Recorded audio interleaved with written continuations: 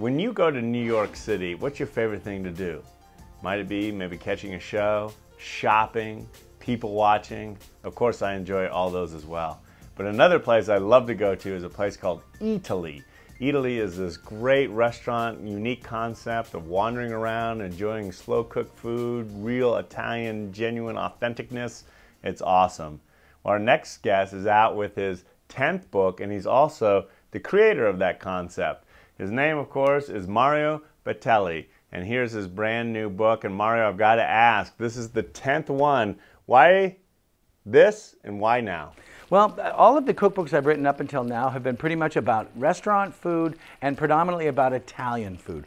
So it occurred to me that at my house, really, I don't necessarily eat Italian all the time, and I certainly don't eat restaurant food all the time. So I wanted to kind of capture how American home cooks make their food delicious and how, if there was a way I could kind of give them a, a little direction on how to make it more delicious, not only for their bellies, but how to make it better for their community and better for their family. And that's what the farm to table movement's all about. It's, it's not so much just a slogan and, and, and restaurateurs taking it, but it's about understanding the value of the regional stuff that's around you and celebrating it in a way that we used to sell sell just imported products. So now when you understand that the best scallop or the, the best tomato or the best corn comes from a farm near your house, you're already one up on all the people that have to take it from somewhere else. And that's the real fundamental message behind the book.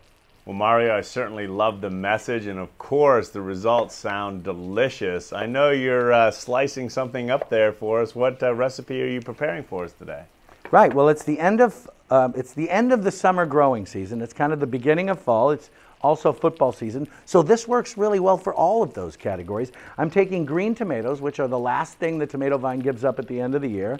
I'm going to sprinkle them. I slice them first. I sprinkle them with a little salt and pepper.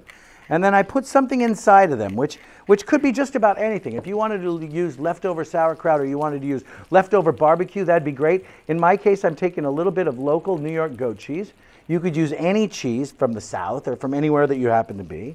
I'm going to take a little bit of prosciutto, but a country ham would be an excellent idea. And then I'm going to take a half a leaf of sage and put it inside of each one. Then I'm going to press them down and kind of create these funny little sandwiches like so.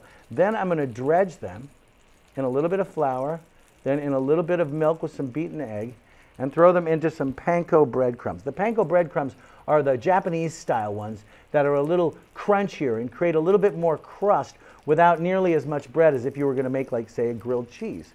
So I press that on. And at this point, you could stop and let them sit in the fridge until you were ready to cook them. Or you could make them right now and hold them in a nice warm oven until your guests got here.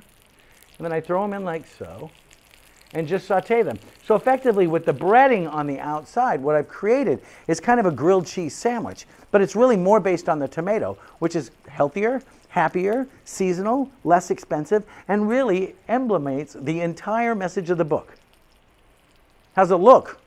Not only does it look good, I bet it tastes delicious. But Mario, with your books, your restaurants, your various concepts, you've had tremendous success. But what interests you the most about food right now?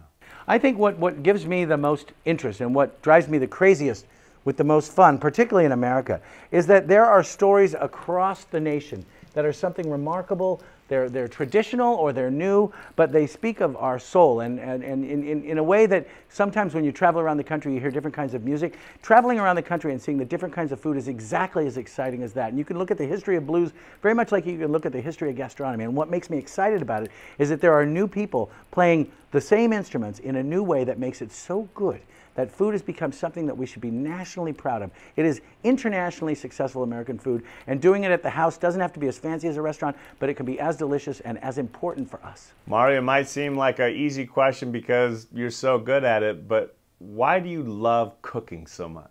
Well, there's nothing more satisfying than to be able to give someone something that you made. And if you can give them something that you made that's warm, nutritious, and by nature they're already happy to see, everyone's happy at dinner time. There's no one that comes to the table and says, oh, geez, we have to eat dinner again. It's more like, what's for dinner? We're really excited. You spend the day or you spend just a half hour making something truly delicious that has a connection and a story to you. You are doing the right thing. You are capturing life as best it can be possibly given to someone. And when you give it to someone, the satisfaction of watching someone eat something like that is equal in my heart when I'm able to enjoy them enjoying something that's good for them.